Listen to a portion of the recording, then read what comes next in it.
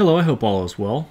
So, I've been doing a lot of birdhouse runs lately, mainly for the hunter experience, but also partly for the GP, and somewhat because doing a birdhouse run is a pretty efficient use of old school mobile uh, when you only have a few minutes here and there every couple hours, perhaps in between classes, maybe at work, or even in line for the Taco Bell drive through. So, I I'm not going to do a guide on birdhouse runs. I feel like most people probably know how to do them. They're pretty simple and they've been in the game for a while. Uh, but I wanted to go through and get 1,000 nests from birdhouses and just see what the average loot is, see what the value uh, you get from these birdhouse nests. So I'm only able to do magic birdhouses because I do not have the hunter level for redwoods.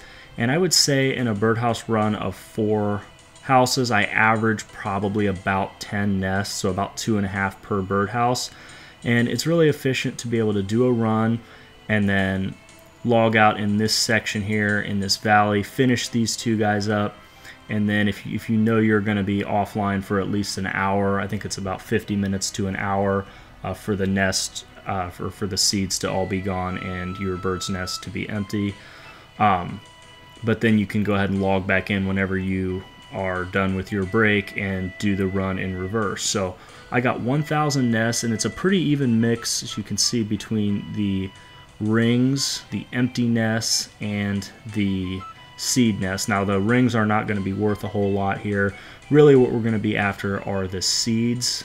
I would say overall it probably took me about a month to accumulate all of these nests from the birdhouse runs, but I wasn't doing like five or ten a day. Some days I didn't manage to do any, other days I would maybe get five or six uh, birdhouse runs. But overall, I would say just kind of playing casually, it took me about a month to get 1,000 nests this way. So as I'm opening up the seeds here, really what I'm hoping for are some spirit seeds, magic seeds, and I believe dragon fruit tree seeds are the most valuable. But uh, we'll see what I get here. Uh, it is very uh, kind of tedious to click on all these nests to open. I did this on the PC as opposed to on mobile. Um, I got another video uh, coming hopefully in the next couple days where I'm going to be opening 5,000 nests uh, from a different source. So if you're enjoying this, go ahead and uh, keep an eye out for that. I will try to remember to post a link in the description. But here I am done with opening 1,000 nests. Well, I guess I didn't actually open 1,000 of them because uh, a couple hundred uh, were totally empty nests. But I'm going to go ahead and do a price check. I can see I got two spirit seeds, so those are untradeable.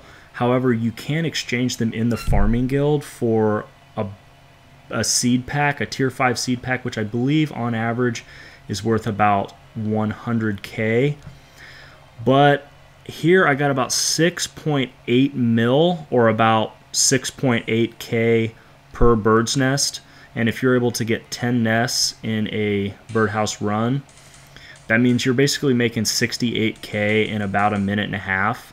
So really that's pretty good. Plus you're getting about 5K hunter experience if you're doing the magic birdhouses. So definitely worth doing uh, as a way to train hunter without spending a whole lot of time grinding something. It's kind of like doing farm runs. The experience and the money will add up over time if you just stick with it. So hope you found this interesting. I know it's a pretty short video.